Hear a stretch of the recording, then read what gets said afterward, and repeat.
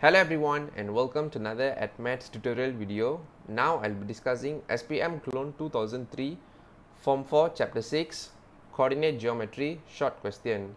Okay, before that, please like this video to show your support and subscribe to the channel for more upcoming mathematics tutorial videos in the future. Okay, let me read the question now. The points A with the coordinate 2A, A, B with the coordinate B and C and C with the coordinate 2b and 3c lie on a straight line.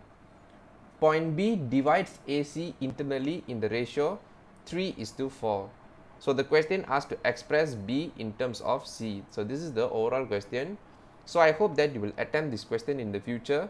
If you could manage to solve this question, a big thumbs up to you guys. But if you can't solve this question, no worries. I'm going to show you the step-by-step -step working and the solutions now. So without further delay, let us start to solve this question. Okay, as usual, I'm going to write the solution under the question here.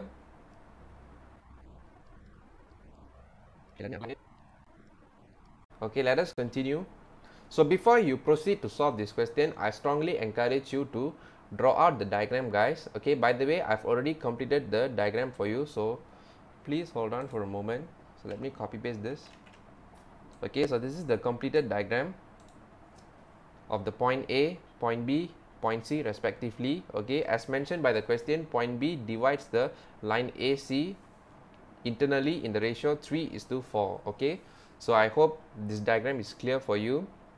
So with this diagram, we're going to proceed to solve this question. Okay, but before that, let me tell you something. So we're going to use the line segment formula guys to solve this question.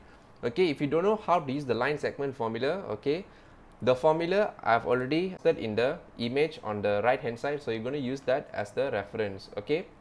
So let us continue to solve this question. Okay. To start off, we're going to solve the coordinate AC starting up with the x coordinate followed by the y coordinate. Okay. And then we're going to compare with the coordinate B over here. So let us continue. So from here, 2a, okay, 2a, you times it for ratio 4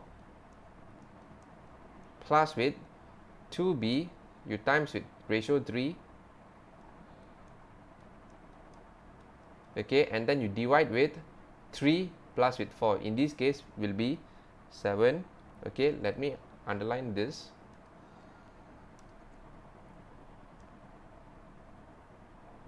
Okay and then you have to compare with b all right so this is for the x coordinate. Okay now you will proceed to the y coordinate. Okay so let us start. A coordinate a you times it 4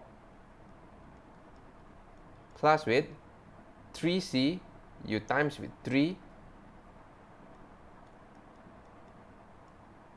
okay and then you divide with 3 plus 4 which is 7 okay let me underline this.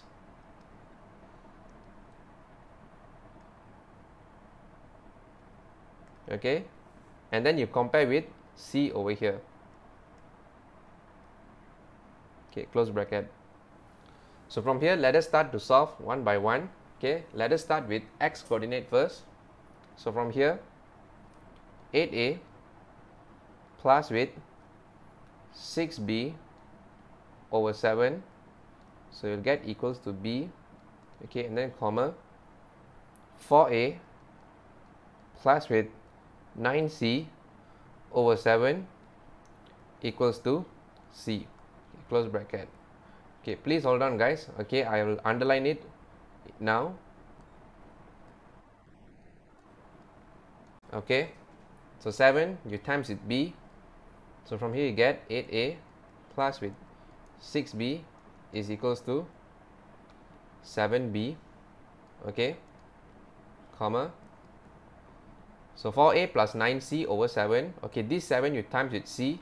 So from here you get 4a plus with 9c is equals to 7c okay?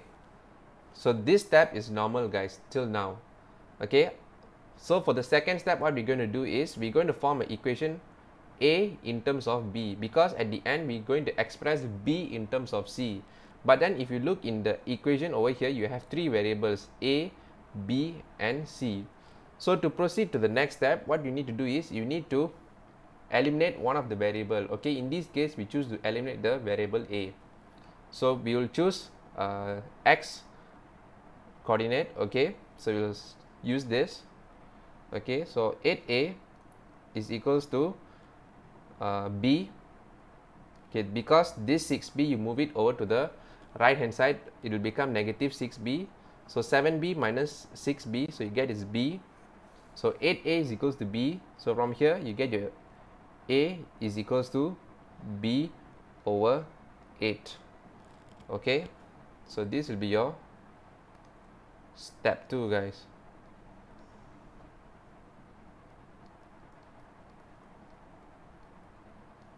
okay? So what you're going to do is substitute a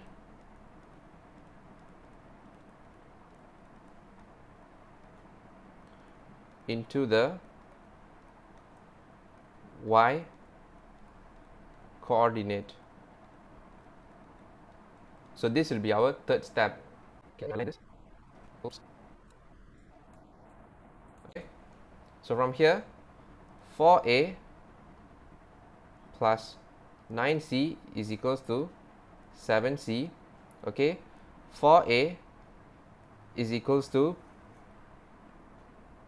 negative 2c okay since you know that the a is equals to b over 8 so you substitute inside. So from here you get 4 in a bracket. B over 8 is equals to negative 2c okay the 4 you simplify you get 1 okay the b you simplify you get is 2 okay the 2 you times with negative 2c so from here you should get your b is equals to negative 4c so this is your final answer guys. Okay let me box this out.